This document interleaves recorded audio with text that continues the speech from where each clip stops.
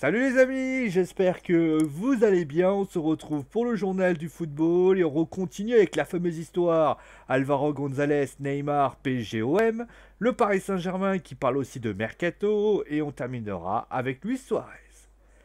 Alors que Téléfoot avait indiqué ne pas être en mesure de vérifier si des propos racistes sont sortis de la bouche du défenseur de l'Olympique de Marseille, sur Neymar bien sûr vous l'avez compris, la commission de discipline a bien évidemment saisi le dossier pour tenter d'y voir plus clair. Si l'oncle d'Alvaro González a indiqué qu'il avait dit bobo, qui veut dire imbécile, le Parisien assure et confirme, via des spécialistes de lecture labiale, que le défenseur marseillais a bien dit Mira de Mono. Je ne traduirai pas ce que ça veut dire, mais vous avez compris. Globe Sport, brésilienne, a également demandé à des experts de lecture labiale, et ils affirment tous la même chose. Alors si la Ligue du football professionnel confirme tout ça, Alvaro González risque 10 matchs de suspension au minimum.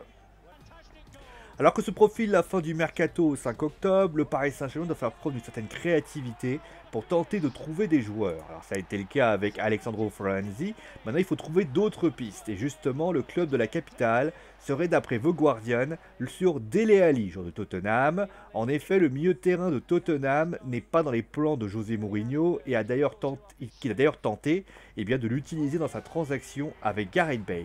Le Paris Saint-Germain serait sur un prêt option d'achat. Rappelons quand même que l'Inter de Milan serait sur le dossier.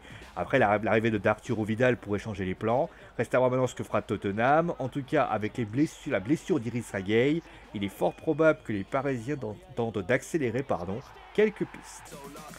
C'est un des fameux revirements de situation que nous offre finalement le mercato. Alors que tout le monde pensait à la venue de Luis Suarez à la Juventus de Turin, il n'en sera rien. En effet, Fabio Paratici, directeur sportif de la Juventus de Turin, a indiqué que Luis Suarez ne l'intéresse pas.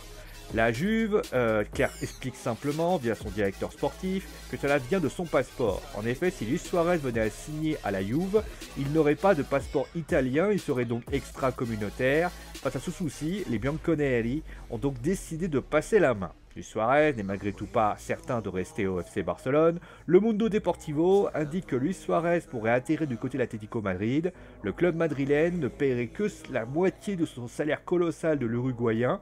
Maintenant, c'est vrai que c'est quelque peu gênant. On ne sait pas si ça va être possible. Donc Luis Suarez serait plus sur une résiliation de contrat. Ça faciliterait vraiment tous les partis et ainsi permettrait littéralement de, pouvoir faire les choses bien.